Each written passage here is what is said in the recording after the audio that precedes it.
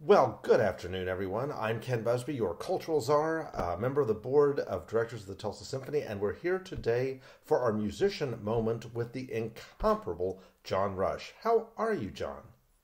Привет, мой друг. Which is Russian for. Hello, my friend. Because you said you're the czar. oh, thank you. Thank you. Yes, I was going to say it's Russian, but I don't know what he's saying. Um, let's see, you speak French, uh, Russian, and you speak a third language.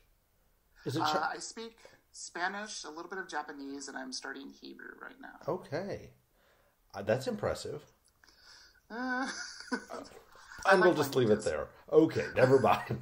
it is what it is. So, John is the, uh, you are, uh, telling our audience here, the principal flute for the Tulsa Symphony. And so, you know, uh, these are just a chance to get to know our musicians better. And so we've been having a lot of fun with that. So I am curious about a couple of things. One, how, how did you come to play the flute? how did I come to play the flute? Well, my mom is a pianist, and she was my first piano teacher. Okay, So I, I had to start on the piano. right. Um, but I didn't want to play the piano because my mom did, my sister did, my brother did. I wanted to do something different. Right. Um, and I remember being one of those pesky little children that, like, when I was first learning Für, Für Elise by Beethoven, Mm-hmm. Right. I would constantly put in a wrong note in one spot. Just because when my practice time was when it was time for her to cook dinner, and because the the piano was on the opposite wall of where the kitchen was, Okay. and so I would be practicing, practicing, and I'd put in an F natural, and she'd be like, F sharp, and then I'd do it again. Uh-huh. so then she's like, if you're not going to practice correctly, then your time is done. And I'm like, oh, my time's done. So I did it for that. Um, Uh-huh. but okay. so one day, many months after learning that piece, I was supposed to be practicing, and Sesame Street was on at the exact same time. And it was an episode that James Galway was on, and he Oh, was yeah. talking with Big Bird. And I think it's on YouTube. I think you might be able to find a, a Okay. grainy version of it on YouTube Okay. where Big Bird says A, and then James Galway plays an A. B, Galway plays a B. You know, they play all of the musical notes, and then you know, Big Bird says, "What comes next?" And he plays this cute little piece afterwards, and you know, Big Bird's like, "Well, that's not how I expected it to go." And um, I saw him playing, and I was like, oh, "That's what I want to do. I want to play that instrument, whatever that is. I want to play it." And so my parents decided, okay, this is what he said he wants to do, so we'll get him a flute. So we got a flute for Christmas, and um, I remember getting it. I was very excited, and I opened it up, and I'm like, uh, his was gold. This is silver. I don't think it's the same thing. How funny. yeah. So that's that's kind of my story of how I became to play the flute. Okay, okay, Uh, that is so cool. the The power of Sesame Street. Look, look what it did. It does so many good things, but it, it, it, it led you to the flute. So, do I understand correctly that sometimes you use a a wooden mouthpiece on your flute? Yes, I do. Sometimes I use it. Um, it it depends on the music we're playing. Sometimes I'll use it if we're playing Baroque music. Okay. Um, or sometimes I'll use it if we're playing uh, Beethoven or Brahms Okay. when I want to like really blend well with the other woodwinds in the section. Um, Okay, okay, Usually, the flute being all metal is it has this timbre that can be a challenge to blend because all of the other woodwinds are actually wood. Oh, right, flute- right. the flute being made out of metal, it um it gives it um some sparkle and some brilliance, but it can sometimes stick out like a sore thumb when you want to create this you know this nice blend of woodwind. Interesting. So, uh, just because I don't know, do they actually make wooden flutes? The whole body. Yeah, they do make. The whole body. Yep, you can still get wood flutes. I played on one um, for a few years, um, and we did one performance of Debussy's Prelude to the Afternoon of the Fawn, where I actually used a wood flute. Wow, that's cool. So, uh, preference overall? Is there one, or does it just depend? Uh, I think it depends because they both have unique characters.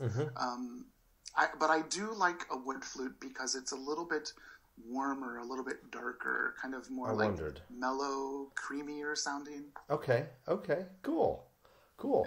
Now, I, I also know you um, you uh, teach flute, teach music. Uh, you're a professor at TCC, Tulsa Community College, right? Uh, and and uh, are you are you still working uh, teaching at the Bart as well? No, I'm not at the BART anymore, but I've been teaching at TU. TU was the first job that I actually got in Tulsa Okay, years ago. years ago. And and when did you join the Tulsa Symphony? Uh, my first season was their first full season, so That's what I have thought. been here. I've been here 14, almost 15 years this summer. Right, right. Because I always feel like you're well, yeah. So you and the uh, Tulsa Symphony grew up together, um, but I always, I, I just always associate you with it's like John's been here always. He, you're just a fixture in the in the community and a fixture uh, in the symphony, and I think that's cool. I mean, that makes you just a really cool member of the of the TSO family, you know. Um, but with all of your teaching at TU and TCC and everything, is there such a thing as downtime in your life? Uh, right now is downtime. Uh huh. Uh huh. Yeah, it's the, the schedule for most musicians is one of what I tell my students at the universities when you're busy, you are really busy. Mm-hmm. When you're not busy, you really aren't busy. Mm-hmm. And so you have to take those times when you aren't busy to rest, take care of yourself, but also to hone on some skills that you need work on. So this is a perfect time for that. Mm-hmm. Cool. So, all right. So when when you're not honing your skills, and you really need to get let it go for a while, what do you like to do? Um, I, I actually like to paint. I like to watercolor. Um, I'm starting to get into some acrylics. I have a, a friend that's a, a really wonderful artist that does some stuff with Disney, and um, she's been pushing me gently along to learn to use acrylics more and do some stuff. Anything you want to share with us today? Why, yes, Ken. I happen to have this right here. Just a moment. No, I don't. Well, actually, I have my planner, and I doodle in my planner, actually. Okay. Um, and let's see. I might have something in here that I've doodled. It's just an idea. Yeah. Actually, yeah, I do. Like, see if I can get that in. Oh, can yes. Even see it? Yes. Perfect. Very clear. The flowers. Yes. Very nice. Okay. Yeah. That's cool, stuff man. Like, stuff like that. I'm trying to think if there's anything else I have doodled in here. Oh, like here's a little thing. Oh yes. Whatever that is, little flowers in a basket Yeah. sort of thing. Yes. Okay. And this is this is this week's. Nice. Uh huh. Uh huh. Yeah. So, I'm liking it. I'm liking it. so right now I'm in the I'm in the process of florals. I, guess. I had a feeling. I was I was sensing florals.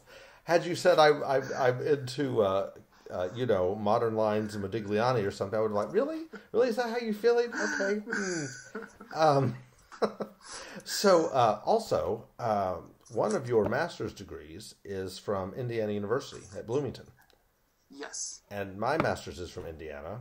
And um, so I, I always like that connection. How did you enjoy your time in Hoosier in Hoosier country? I, I enjoyed it, but it was also a stressful time because when you're working on a master's degree, and actually I have two masters from Right. Indiana. Oh, I didn't realize that. Okay, Yeah, one is in uh, historical transverse flute performance, right. which basically means Renaissance, Baroque, and classical period flutes. Okay, because I knew I knew you liked early music. I knew that was one of your interests and passions. Yeah. Okay. Is in hist- uh, like music history of the Baroque. Okay. Okay. All right. So yeah, you spend a lot of time. So history, yeah. So this may this may answer that question a little bit, but I was thinking if you if you weren't playing the flute today, even though you're not playing right this second, but if if that weren't what you were doing, what what do you see yourself doing? What would you be doing? You know, I, I had thought in the past of either being like a veterinarian or a librarian. Okay. Yeah, Um, two completely different things. Hmm. Okay. Uh, got nothing there. I don't know where to even go with that one. Uh, but, but I, I, I- I hear your animals in the background occasionally. That's actually my neighbor's oh, animals. Oh.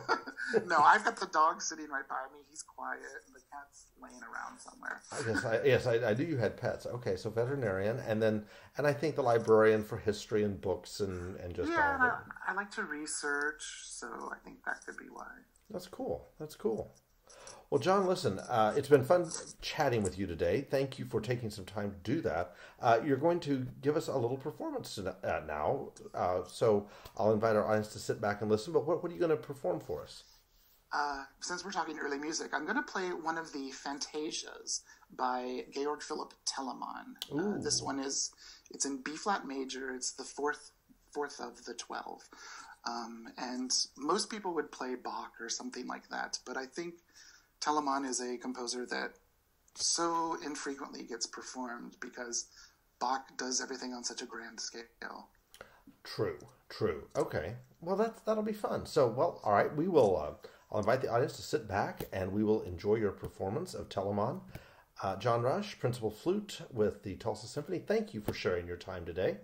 And uh, we will look forward to seeing you in person uh, very, very soon. Okay, sounds great. All right, take care now. Bye bye. Bye.